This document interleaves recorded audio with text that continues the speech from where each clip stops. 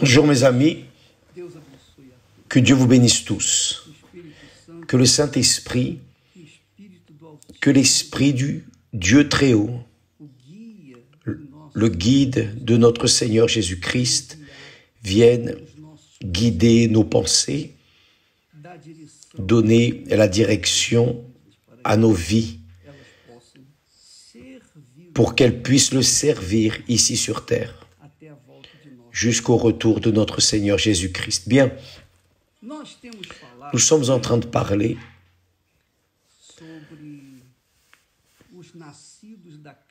au sujet de ceux qui sont nés de la chair. Ceux qui sont nés de la chair ne comprennent pas ceux qui sont nés du Saint-Esprit.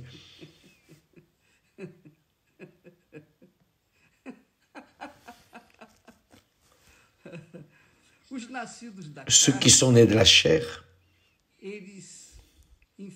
malheureusement, sont chers. Jésus dit, a dit à Nicodème. Nicodème était un genre d'évêque, un homme très important, très influent, très riche,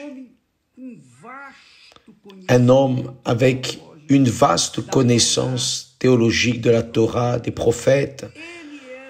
Il était un homme parfait aux yeux humains, aux yeux de la chair, de ceux qui sont nés de la chair, un homme très saint, parce qu'il connaissait très bien la loi, la loi de Moïse, les commandements, les prophètes, les psaumes, sauf que lorsqu'il s'est retrouvé avec le Seigneur Jésus, il n'a pas compris le langage de Jésus. Pourquoi? Parce que Nicodème, bien qu'étant une personne très importante dans la communauté judaïque, parmi les religieux juifs, il était le principal chef parmi les juifs. Il était l'un des chefs respecté, etc. Et il était un homme sincère. Malgré tout cela, il était né de la chair. Il était né de la chair. Et il ne comprenait pas le langage de Jésus qui était né du Saint-Esprit. Ainsi sont les personnes dans ce monde. Vous pouvez avoir beaucoup de connaissances théologiques. Vous pouvez être parfait dans les connaissances du monde nous donne. Mais si vous ne naissez pas de l'esprit, vous êtes cher. Et parce que vous êtes cher, vous ne comprenez pas les choses de l'esprit. Mais quiconque naît de l'esprit comprend ceux qui sont nés de la chair, parce qu'un jour ils ont été chers. J'ai déjà été cher, je sais ce qu'est être cher, mais aujourd'hui je suis esprit Jésus n'est pas né dans la chair, il est né du Saint-Esprit dès le ventre de Marie. Donc Jésus parlait à Nicodème qui était un parfait, un instructeur, un maître de la religion. Jésus lui parlait et il ne comprenait rien. La conversation de Jésus, le discours de Jésus n'était pas compris. Jésus a dit, Oh Nicodème, je te dis, celui qui ne naît pas de nouveau ne peut pas voir le royaume de Dieu. Pourquoi? Pourquoi ne pouvait-il pas voir? Parce que le royaume de Dieu est spirituel. Le royaume de Dieu n'est pas physique. Ce n'est pas comme le royaume d'Israël, les royaumes de ce monde. Le royaume de Dieu est spirituel. Et seuls ceux qui sont nés de l'Esprit Saint peuvent voir le royaume de Dieu. Et plus encore, après Jésus a dit, Jésus lui a dit, Nicodème, si tu ne nais pas d'eau et du Saint-Esprit, tu ne peux pas entrer dans le royaume de Dieu. Nicodème n'a pas compris. Il est resté perturbé. Mais comment, Seigneur? Il a dit, comment il n'a pas dit lui, mais il a dit, comment est-ce qu'une personne il se référait à lui-même? Comment une personne d'un certain âge peut-elle revenir dans le ventre de sa mère et naître de nouveau? Comment est-ce possible? Même nouveau-né pourrait-il revenir? Encore moins son âge, mais le pauvre. Parce qu'il était cher, il comprenait de la manière dont il entendait. La personne qui naît de la chair est faible. C'est le problème des personnes qui naissent de la chair. C'est le problème du monde. Les personnes de la chair ne comprennent rien des choses de l'esprit. Elles sont aveugles, sont ignorantes, sont complètement éteintes, neutralisées devant les choses spirituelles. Pourquoi? Parce qu'elles sont nées de la chair. Vous savez, la chair est faible.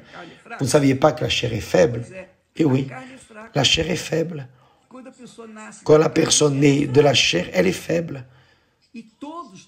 Et nous tous, nous sommes nés de la chair jusqu'au jour où nous avons une rencontre avec Dieu. Et dans la personne du Saint-Esprit, nous sommes engendrés esprit, c'est-à-dire, je vais vous expliquer ici.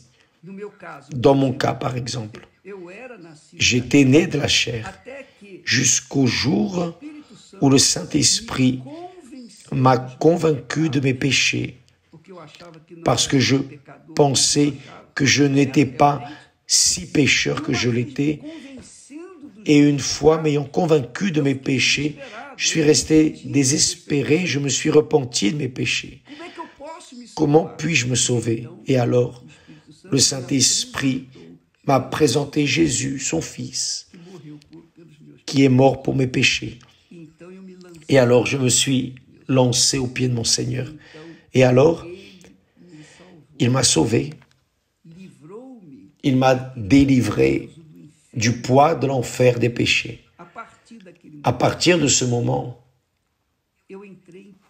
je suis entré en paix avec Dieu et surtout avec moi-même.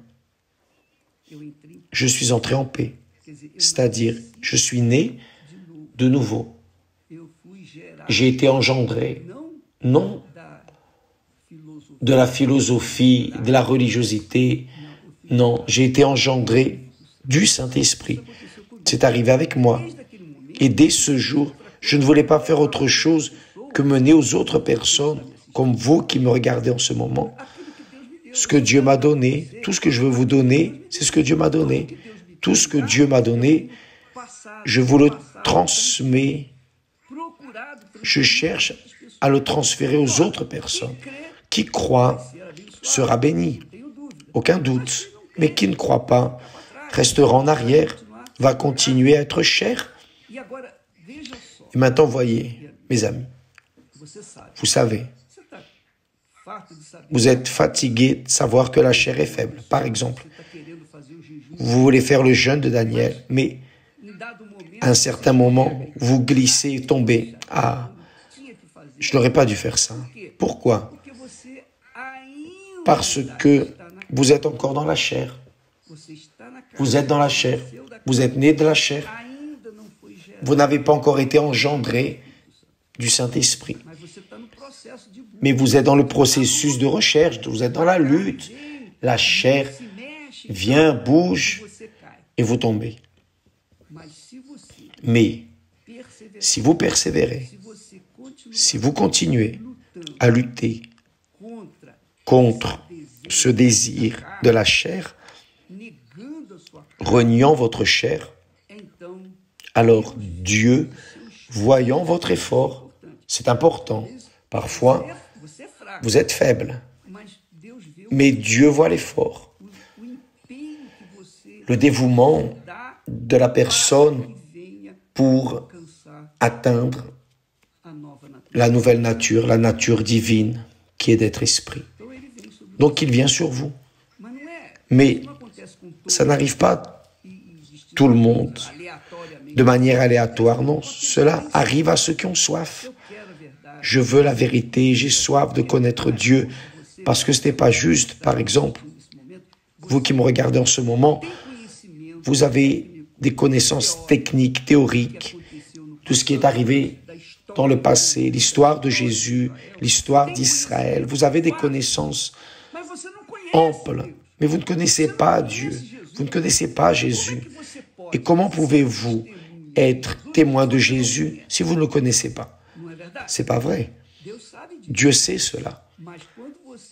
Mais quand vous commencez à assimiler cette idée, non, je ne peux pas vivre sans le connaître, je dois te connaître. Cela est la soif que le Saint-Esprit vous donne. Il ouvre votre pensée, il vous fait comprendre la raison du Saint-Esprit, de la venue du Saint-Esprit, pour vous révéler ce que vous avez besoin de savoir, pour qu'alors vous puissiez prendre l'attitude qui vienne faire de vous une nouvelle créature. Donc, mes amis, celui qui est né de la chair est chair, et quiconque est né de la chair ne comprend pas celui qui est né de l'esprit. Vous voyez par exemple combien de personnes, combien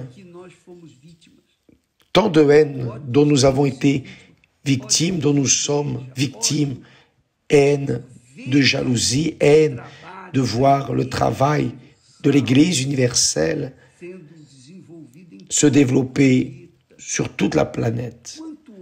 Tant de haine nous suscitons contre nous. Bien sûr, je ne pourrais pas attendre de ceux qui sont nés de la chair des fleurs ou un tapis rouge, non. Je ne peux attendre que cela. Haine, vengeance, injustice, calomnie, diffamation. On m'appelle voleur, profiteur, ceci, cela. Mais les chiens aboient et la caravane continue de passer. Quand je dis comme ça, je sais que ceux qui sont nés de la chair et qui me haïssent ont encore plus de haine. Mais que puis-je faire? Mais c'est un fait, mes chers. C'est une réalité. Quand vous naîtrez, si vous naissez du Saint-Esprit, vous allez comprendre. Et vous allez passer par le même processus que j'ai passé. Mais cela est arrivé à notre Seigneur Jésus. Tout cela, tout ce que nous passons, il l'a souffert. Il a gémi beaucoup plus que toute l'humanité passée, présente, future, a gémi dans ce monde parce qu'il a pris sur lui toute la malédiction de l'être humain. Il a pris pour lui, il n'avait tort de rien. L'innocent a pris tous les péchés de toute l'humanité. Maintenant, qui est bénéficié de cela? Ceux qui croient. Et ceux qui croient obéissent. C'est la réalité. Donc, quiconque est né de la chair est faible, est débile, corrompu, corruptible. C'est une personne qui, je dirais, a une nature corrompue. La nature est corrompue par nature. Ce ne sont pas seulement beaucoup de politiciens qui sont corrompus. Il y a aussi des personnes qui ne sont pas de la politique qui sont corrompues. Donc, c'est la nature de l'homme la nature de l'homme, né de l'homme, la chair qui a engendré la chair, mais la nature de l'esprit est vie, paix, force. Celui qui est né de la chair n'a pas le pouvoir de la foi pour changer la situation. Celui qui est né de la chair a le pouvoir du doute, de la peur, de la frayeur. Il porte en lui, celui qui est né de la chair. Il est si faible, si faible, si faible, qu'avant d'être renversé, massacré, écrasé par le monde, il commence à écraser les autres. C'est ce qui arrive dans les écoles. Les personnes qui font le bullying, elles font le bullying avec les autres enfants parce qu'elles ont peur, elles sont peureuses. Donc, avant de souffrir, elles l'imposent aux autres. C'est-à-dire, elles font ressortir ce qu'il y a en elles, la faiblesse. Donc, quiconque est né de la chair est chair. Et chair, pure chair, est faible, peureux, lâche, corrompu, tout ce qui n'est pas bon, parce que la chair est faible. Jésus a dit, celui qui naît de la chair est chair. Il n'y a rien à faire. Cela peut être un religieux, un maître, un chef de la religion, mais il continue à être de la chair avec les mêmes intentions, les mêmes péchés que les autres qui ne sont pas religieux. Donc, mes amis, c'est pour cela que Jésus est arrivé à la conclusion et a dit à Nicodème, Nicodème, il faut que vous naissiez de nouveau. Tu dois naître de nouveau. Parce que si tu ne nais pas de nouveau, tu vas continuer à être faible, débile. Tu vas continuer à être ce que tu es. Personne ne peut changer cela. Tu dois naître de nouveau.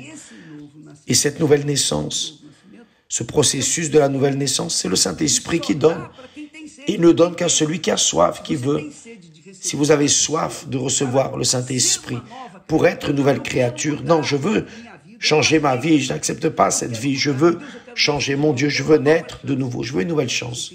Si vous avez cette soif, le Saint-Esprit vient déjà sur vous. C'est lui qui suscite cette faim, cette soif, et vous pouvez être sûr, il va, il va vous visiter, et vous allez naître de nouveau. Et vous allez cesser d'être ce que vous étiez pour être une personne esprit ou spirituel avec la nature divine. Demain, nous parlerons plus à ce sujet parce que le sujet est très long, vaste, riche, mais il a besoin d'être digéré peu à peu, sinon les personnes ont une indigestion. Que Dieu vous bénisse tous. Si vous voulez naître de nouveau, faites cela. Ce mercredi, la nuit de l'âme, à 18 heures, dans toutes les églises universelles au Brésil, comme c'est le 7 septembre, c'est férié, donc la réunion de 8 heures sera à 6 heures, à la tombée de la journée. Tombée de la journée. Vous êtes notre invité. Toute Église universelle, au Temple de Salomon et également à Brasilia, au sol sacré. Aussi, la même chose, 18 heures. Vous êtes notre invité.